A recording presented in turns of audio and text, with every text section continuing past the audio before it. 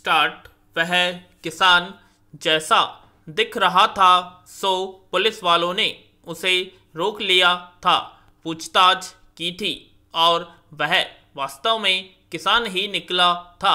उसकी सघन तहकीकात ने व्यक्ति का सच उभार दिया था। सिपाहियों की कार्रवाई और सूझबूझ से बड़े साहब खुश हुए थे।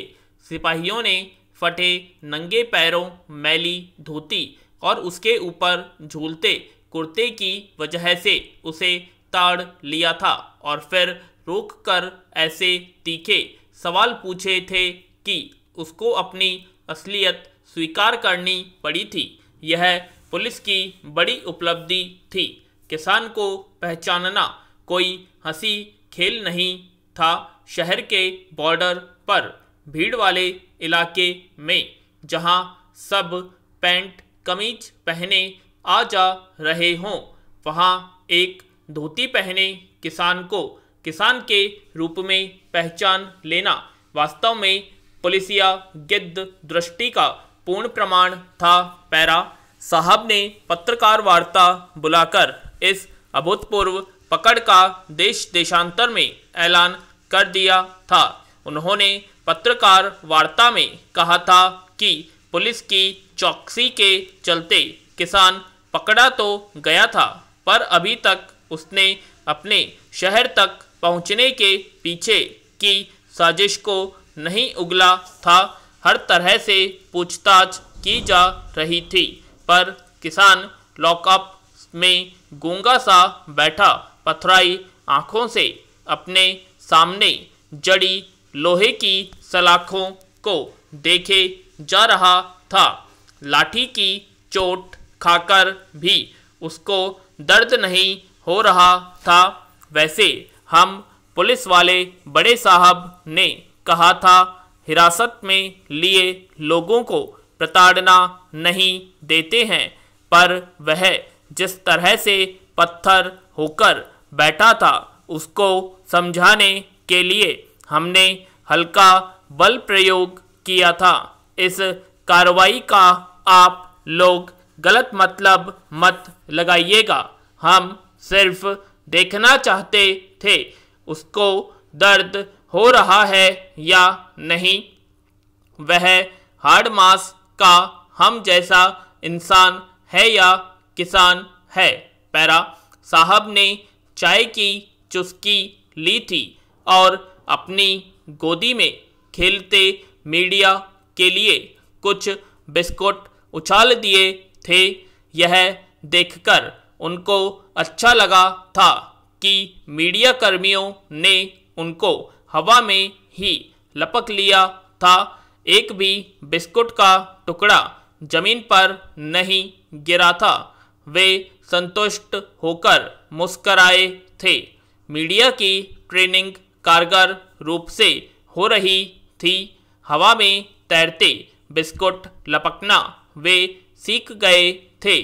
पैरा, दोस्तों, उन्होंने पत्रकारों से कहा, वह बैठा है और चुप है। इससे साफ़ है कि वह जिद्दी है। वह थोड़ा बौराया हुआ भी लग रहा है, पर यह सब दीगर है। मुद्दा यह है कि वह यहाँ तक पहुँचा कैसे?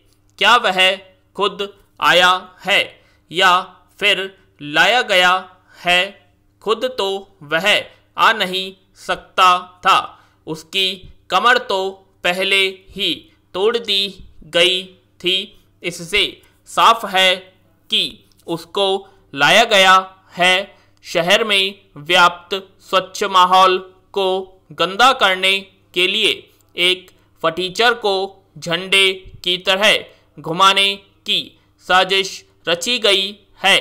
किसान को छोड़े साजिश को समझे। झंडे का डंडा तो हम निकाल ही देंगे। आप साजिश पर जुट जाइए। उसको तार तार कर दीजिए। पैरा, हम कैसे साजिश ढूंढ सकते हैं? यह काम तो साहब आपका है।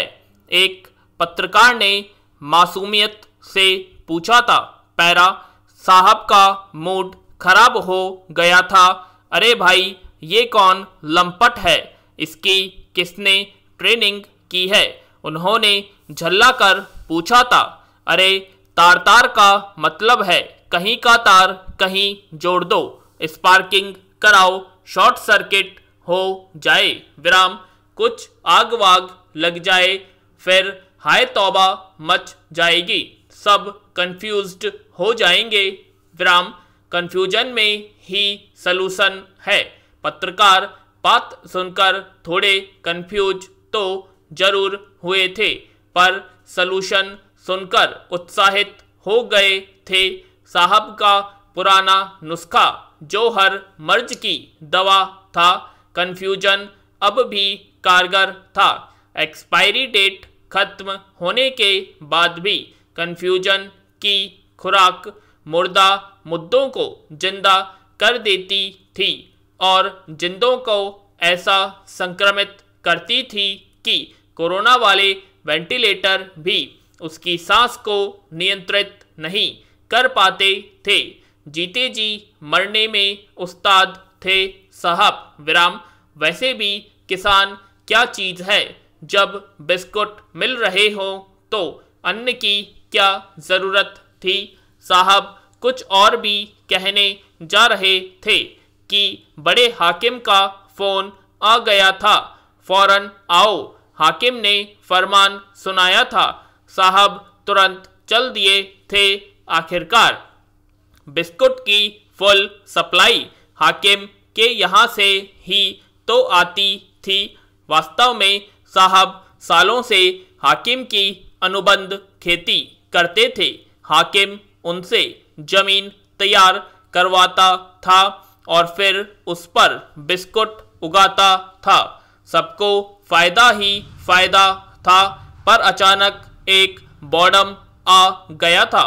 शुक्र है, जल्दी ही पहचान लिया गया था। और अब लॉकअप में बैठा था। बिस्कुट खाने से मना कर रहा था। बीच बीच में कुछ अन्न अन्न जैसा बुदबुदाता था और फिर पत्थरा जाता था। साहब ने सिपाहियों से कहा था कि किसी भी तरह गिरफ्त में आए हुए फटीचर को अगर वे बिस्कुट चका दें तो उसका अन्न का नशा उतर जाएगा। किसान धोती से पेंट पर आ जाएगा और साहब के खुशहाल शहर का स्वच्छ बाशिंदा बन जाएगा। विराम पर हर प्रयास विफल हो गया था। पैरा हाकिम ने साहब से कहा कि किसान को आइसोलेट कर दो। ठीक वैसे ही जैसे कोरोना में होता है और लोगों को जोड़ो। विराम, उनको बताओ कि किस तरह से बिस्कुट उगाना हमारी प्राचीन परंपरा रही है? सिंधु घाटी की सभ्यता बिस्कुट की खेती करके विशाल और समृद्ध हुई थी। किसान अशिक्षित है, समझता नहीं है कि बिस्कुट उगाकर हम शहर का विकास ही नहीं कर रहे हैं, बल्कि पूर्वजों की धरोहर को और यशस्वी बना रहे हैं। विराम। पौराणिक काल में बिस्कुट की खेती के साक्ष्य बहुतेरे हैं और जिसको इन पर विश्वास न हो, वह पाकिस्तान चला जाए, क्योंकि मोनजोदड़ो वही है और अगर वहाँ जाने में उन्हें कुछ ऐतराज हो तो वे सरस्वती नदी सभ्यता की खोज में चल रही खुदाई में श्रमदान शुरू कर दे। बिस्कुट उगाने का साक्ष्य उसे वहाँ कभी न कभी मिल जाएगा पैरा, साहब हाकिम से नया ज्ञान पाकर प्रफुल्लित हुए थे। हाकिम ने उनके मन की बात कह दी थी वैसे भी। उन्हें बचपन से ही पुराणों के हर भोजपत्र पर बिस्कुट ही बिस्कुट बिखरे हुए दिखते थे। साहब ने गूगल करके बहुत से समेट भी लिए थे। पैरा उधर भोर की बेला में किसान उठा था। सिपाही हतप्रभ देखते ही रह गए थे और वह खींचो को पार करता हुआ सड़क पर आ खड़ा हुआ था। उसके पत्थर जैसे शरीर में स्फूर्ति आ गई थी। उसने साहब की मंशा जान ली। थी। वह अपने खेत के चारों ओर बाढ़ लगाने के लिए निकल पड़ा था। ठीक इसी समय साहब प्राचीन बिस्कुट ज्ञान का घोटा लगा रहे थे। विराम, हाकिम की ड्यूटी बजा लाने का वक्त हो गया। विराम।